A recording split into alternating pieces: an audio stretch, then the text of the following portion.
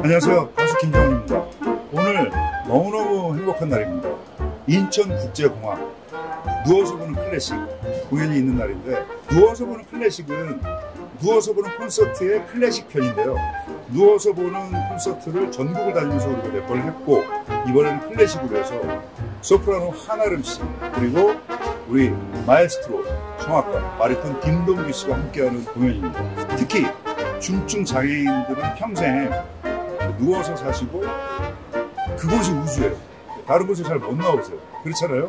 근데 공연 때 제일 앞자리에 편하게 누워서든 앉아서든 공연을 보시고 외국 사람들이 보면 야 한국은 공항에서 누워서 공연을 봐. 우리 K 뷰티, 뭐 K 팝, K 푸드도 있지만 K 나눔을 세계로 우리가 나가봤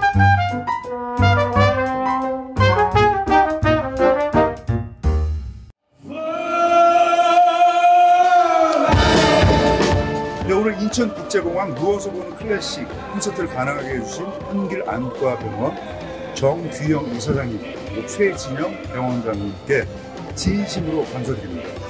저한테 계속 나눔을 할 수 있도록 후원을 해주시고 개안 시술에 대해서 제가 기부도 하고 어, 많은 도움을 서로 주고받고 많은 도움을 받았죠. 근데 이번에 함께하게 돼서 역시 역시 한길 안과병원으로 정규영 이사장님이 다시 한번 느끼고 진심으로 한길 안과병원 감사드립니다.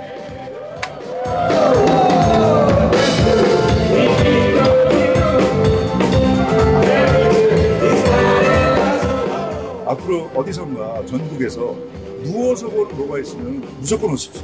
누구든 오십시오. 파이팅 하겠습니다. 감사합니다. 네.